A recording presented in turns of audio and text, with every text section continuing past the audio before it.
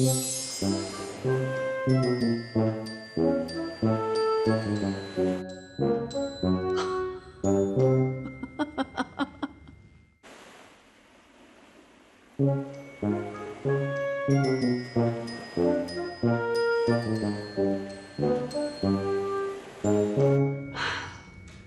hiç büyümez misin Dudu Peri? Bazen zalimin tekisin, bazen de haşarı bir çocuk gibi davranıyorsun. Aslında sihirle bir saniyede yapabileceğin bir şeyi bulutlarla, güneşle, rüzgarlarla uğraşarak yapıyorsun. ah, aslında biraz merhametli olsan o kadar eğlenceli bir arkadaş olacaksın ki.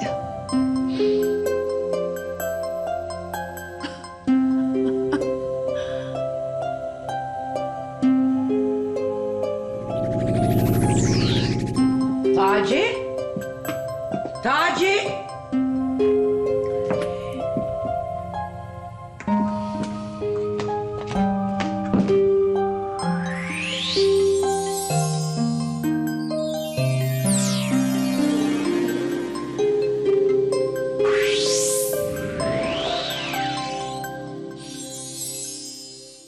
Pakize, sen Dudu'yu en son kaç yaşında gördün? Ee, peri yaşına göre mi yoksa size göre mi? Ya karıştırma şimdi perisini fanisini. Bana göre söyle. Aa, 17 filandık. Ha, yani siz bir şatonun içinde mi büyüdünüz? Yani aynı evde mi büyüdünüz birlikte? Aa tabii. Biz kalabalık bir aileydik ve o zaman kalabalık aileler aynı şatonun içinde yaşardı. Yani benim annem Periler Hanı'ydı. Ay Duymasın çok kıskanırdı. Bak sen şu Dudu'ya, bana bundan hiç bahsetmedi. bahsetmez o, bahsetmez. O sadece başkalarının kıskançlıklarıyla uğraşır. Kendi kıskançlıklarına hiç bakmaz. Ne öyle arkamdan dedikodumu yapıyorsunuz bakayım ha? Hangisi yalan? Ben kıskanç değilim bir kere. Kocanın halinden belli. Bak bak, gel bak. Aynaya bir bak. Ve kendine söyleyemediklerine bir yüzleş bakalım. De ki, ben kıskanç bir kadınım de. Hadi de. İleri gitme fena yaparım. Ayrıca benim evimde sofra kurma hakkını kim verdi sana? Yani biraz önce damadım merdivenlerden aşağı indi ve dedi ki benim çabuk çıkmam lazım, hazırlanmam lazım. Yani işte o zaman kendi kendine yap, kur sofra. Eh, Hatta iniyor. Günaydın. Günaydın anneciğim. Ah, Pakize Hanım. Söylememle yapmanız bir olmuş. Harikasınız valla. Ay yok canım daha hazır değil daha. Ekmekler kızaracak, çay demlenecek, yumurtalar haşlanacak filan. E, gerisini Dudu hazırlayacakmış. Ben misafirim ya işte bana iş yaptırmıyor. Toprakta insin de hadi sen geç otur. Ben geri kalanlarını getireyim. Şiştin mi cicim? Kapa çeneni. Bir daha ben şatoda yokken seni bu kadınla baş başa muhabbet ederken görmeyeceğim. Bir ayna daha ister misin Dudu? Bu sefer aynaya şöyle de. Ayna ayna söyle bana benden daha kıskancı var mı bu kainatta?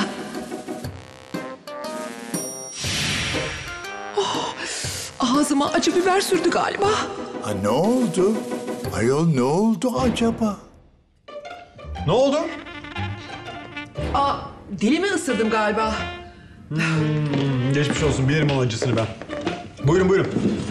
Helva da çok güzelmiş yani. Afiyet olsun. Size de.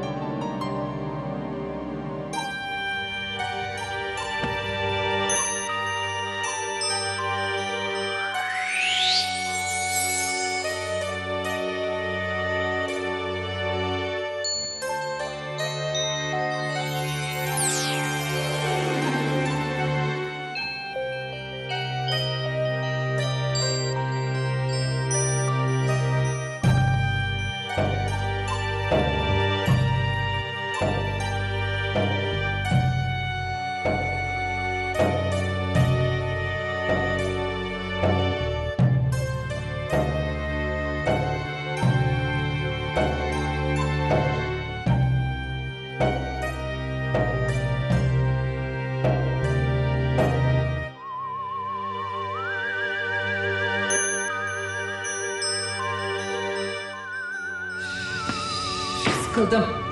Nereye? Biraz hava alacağım canım. Hayır hiçbir yere gidemezsin. Burada kalacaksın. Periliç öyle tembihledi. Ayol terasa çıkacağım şurada. Dur. Önce kocama alayım o zaman. Ne kıskanç kadınsın.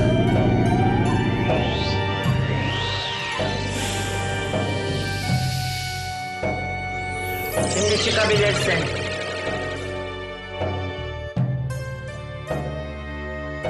Dudu nereye gitti bu kadın?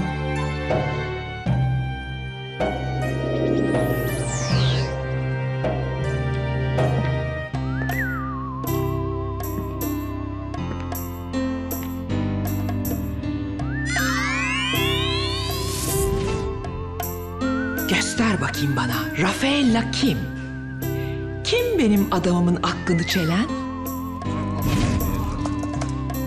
Ben de mesela birçok yabancı ve Türk kadınla nişanlandım ama asla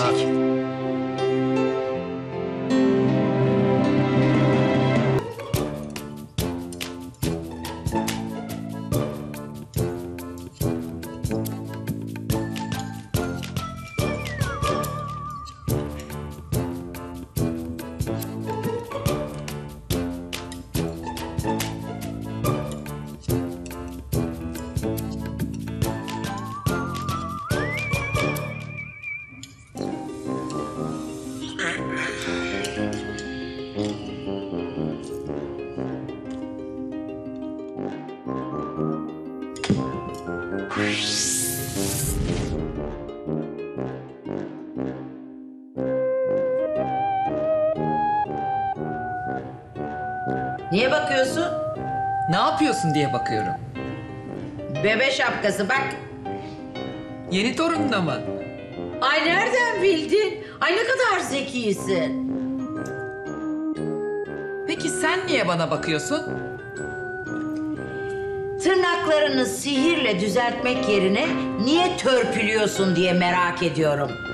Aklımda bir şey var. Törpülerken düşüncem oraya odaklanıyor çünkü. Kime kötülük yapmayı düşünüyorsun gene ha?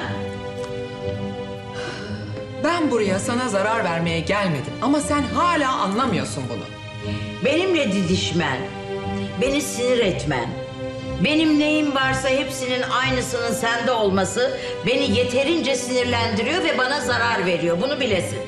Ayrıca bir şey daha merak ediyorum. Gerçekten bunu çok merak ediyorum. Neden senin hiç arayanın soranın yok? Herhalde herkese o kadar büyük kötülükler yaptın ki hiçbir dostun kalmadı ha?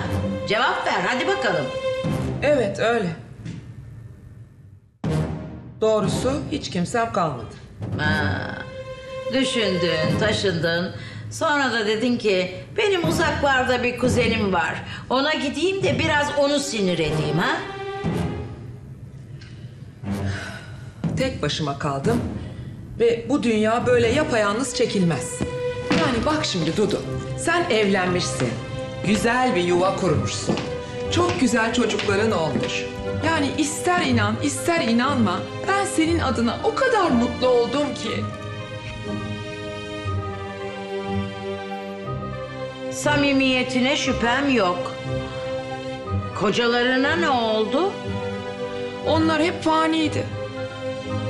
Ee, çoluk çocuk? Çoluk çocuk yok. Yani fanilerden vardı. Onlar da beni çok severlerdi. Ben de onları. En son 100 yıl önce evlenmiştim. Ay! Hiç akıllanmamışsın. Gene bir faninin peşindesin. O çapkın Faruk'un.